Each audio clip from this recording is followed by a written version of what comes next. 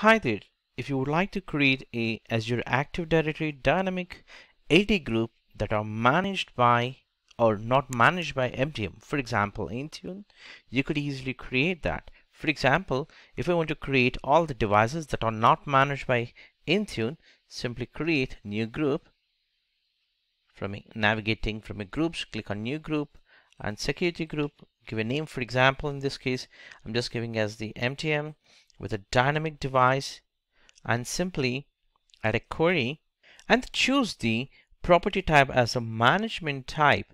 What happens is this management type we could give here as an operator not equivalent. When I say equivalent, it it means it is managed by MDM, but I would like to get all the devices that are not managed. So in this case, I'll just go for not contained or not not equal length and simply type here as MDM.